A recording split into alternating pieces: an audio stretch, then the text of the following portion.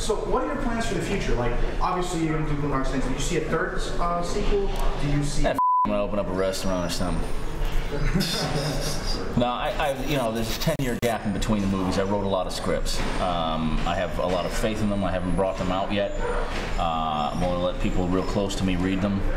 And uh, I believe I have four other pieces of material, uh, hopefully knocked down one at a time from here on out. And uh, there's even possibly, you know, the idea of, of, in a couple of years maybe doing a part three on Boondock. There's certainly some ideas percolating for that.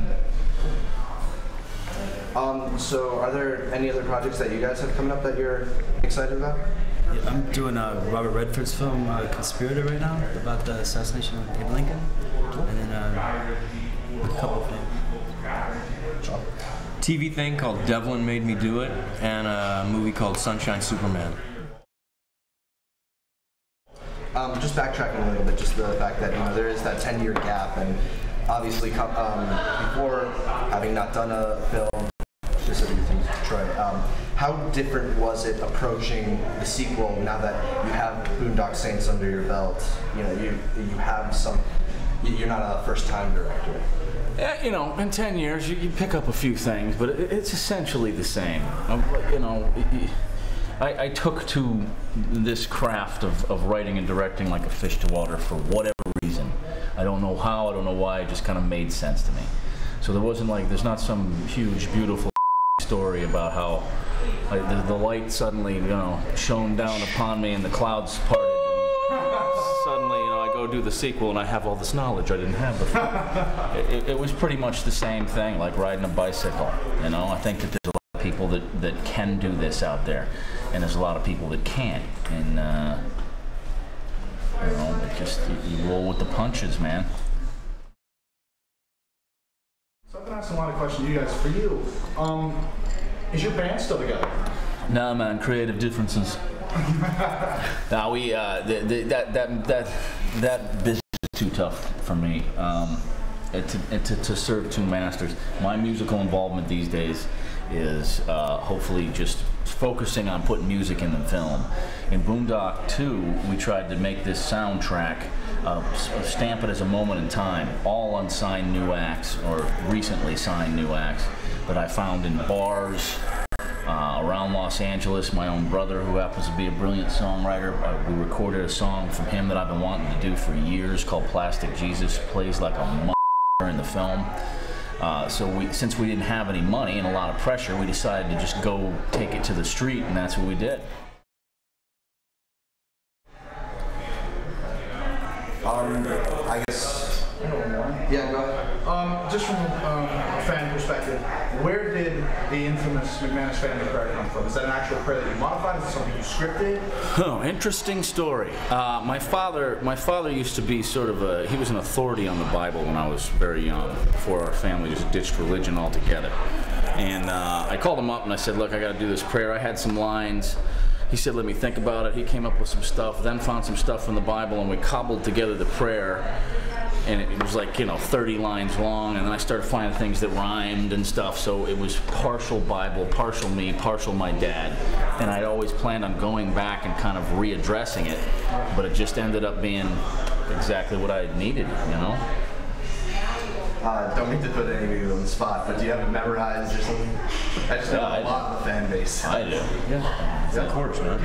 Yeah, yeah, yeah. I've had kids come up to me. And I know lines from my favorite movies, man. I mean, of course, you know. I'm a, I'm a movie fan, you know. What would you guys say to anybody who like is trying to break into the acting or the, the film making industry? Like, what would you what would you say to them to like give them words of I guess encouragement? Uh, words of advice I always give are A, live well within your means at all times. Um, I got friends that like get a TV pilot, you know, they get paid 80 grand or something and it's not even picked up yet and they go get a Merc, you know, or something. It's like, thing's not even picked up yet, you know what I mean? Driving a Ferrari. Yeah, they're rent. They're you know, LA is the capital of people with like nice cars that are renting an apartment. It's just like, wait, you you're pulling that thing up to an apartment? Really? you know, so live well within your means, and also don't forget that uh, this is an industry that uh, everybody would pay to get into. So two years down the line, when you're doing a TV show or something, or you're directing your 18th episode, don't let anybody hear you go, ah man, I've been doing this for a year now. God, I gotta get out of this and do and go on to big features. It's like, mother, a year ago, if somebody said I'll let you direct this episode of, I don't know, The Closer, you'd, but you gotta pay me five grand. You'd be on the phone with your mom. Mom, we gotta find five grand. They're gonna let me direct a TV. You know, so a, a year from now, don't let people hear you going, ah, directed eight of these now. I'm, I gotta move on to like, you know, just. It's we're. all- I, I hate people that are like, I'm so blessed, I'm so blessed. But realistically, it's like I haven't worked in 20 years. Like work is like my my definition is like doing something that I pay you to do. I gotta pay you to do this. Because realistically, earmuffs. If they'd come to me and said, we don't have any money to pay you, but we're doing Boondock Festival, Boogie! Boogie! Boogie! Triple Boogie to the dome! What's your advice to young filmmakers? Um, I think you gotta, as, as horrible as it is, I think you have to move to LA a little bit or to, to New Yeah, York, you know. Same one, yeah. Um, maybe Well, bring one of these sure, with you. yeah. wherever you go. definitely, definitely. I mean, I mean, you know, if, if, if, if you want to be a model, you're not gonna do shopping mall modeling in Texas. You know, you got to move to New York. If you want to do runway stuff, you got to be in New York. That's If- how I know if somebody's serious. Yeah, if they're serious, if, if somebody's serious, they say, "What should I do to get into acting?" I'm in Oregon. Move to LA first of all. It's like you gotta, you gotta, you gotta be in the theater to see the show. You know, don't, don't, don't sing to me how like I really want to break into it, but you're in Fort Lauderdale. Really, you want to break into it? Move the f- to LA. You know, if you want to do theater, move the f- to New York. That's the first thing you gotta do. If you're hungry, first you gotta get to the grocery store. Don't ask me a recipe if you don't have ingredients. You know, go pick up the shopping list. My my advice it, it can only be to like wa- wannabe writers and directors because you know I'm not an actor. My my my always my first thing is uh, you know you have to make sure that you're legitimately talented. Um, and if your mom and your friends love your that doesn't mean anything. Um, well, I guess one final thing, if you um, had to say something to sell all the listeners on Boondock Saints 2, what would it be? if you liked one, two's gonna blow your socks off. I mean, we literally took everything that we did in one and pushed it much farther, you know, and wound it into a completely new story that's totally unpredictable. So far, the fan reactions have been off the charts.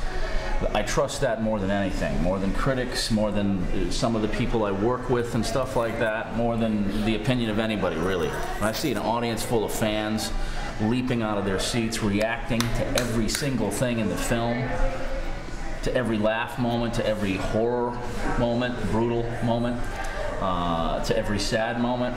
That's what I trust more than anything because it's absolute purity.